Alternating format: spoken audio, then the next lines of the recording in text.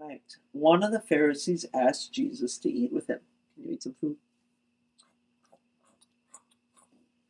Jesus went into the Pharisee's house. He sat down at the table, and a woman who was a sinner brought a white bottle of ointment. Now, I have a question for you.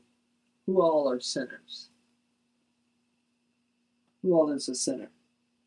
Everybody. Everybody is. You're right. So everybody's a sinner. So maybe we can learn from this woman. She stood behind Jesus at his feet. She was crying. Can you show me a sad face?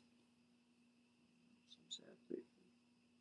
She wet his feet with her tears, and she wiped them with her hair. Can you touch your hair? She used her tears and her hair to clean his feet. She kissed his feet, and she anointed them with the ointment. When the Pharisee saw this, he said to himself, If this man were a prophet, he would have known this woman is a sinner. Does it sound like the Pharisee likes the woman? No, it sounds like he thinks she's not very good, and that Jesus isn't very good because he's letting her do this. Well, Jesus said to him, Simon, I have something to say to you. Wait, is this the Simon he called No, for his disciples? no, this is a different Simon. Good question, though. Simon said, Say it, teacher. Let me hear it. Jesus said, A man loaned money to two people.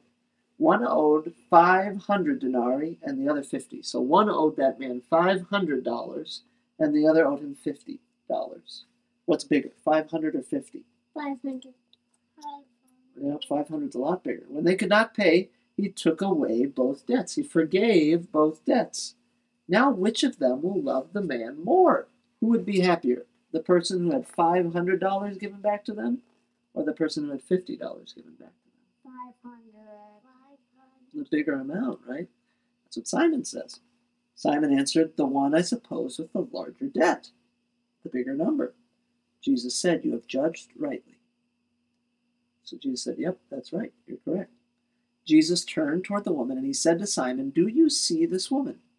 I came to your house. You gave me no water for my feet, but she has wet my feet with her tears. She wiped them with her hair. You gave me no kiss. From the time I came in, she has kissed my feet. The kisses that Jesus are talking about, they're more like like a hug hello, right? That's just one of the ways that you would greet people. You did not anoint my head with oil, but she has anointed my feet with ointment. My feet with ointment. I tell you, her sins, which are many, are forgiven, for she loved much. But he who is forgiven little loves little. So he's saying, hey, if you have lots of in sins, that time, right? they didn't have cloths. Huh? In that time, they didn't have cloths. They did actually have cloths in that time, but she's doing it with her hair just to show him how much she loves him. Okay.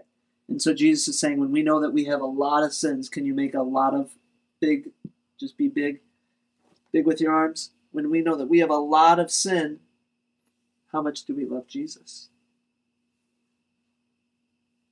Jesus is saying we love him a whole lot because he forgave all of those lots of sins, right? But when we pretend like we only have a little sin, can you make a little? How much do we love Jesus? Only a little, right? Because we don't realize how much he's forgiven. That's what Jesus is showing us. He's saying, hey, when we know how big our sin is, that's when we know how big his love is, too. And so Jesus said to the woman, Your sins are forgiven. Then those who were at table with Jesus began to say among themselves, Who is this who even forgives sins? And Jesus said to the woman, Your faith has saved you. Go in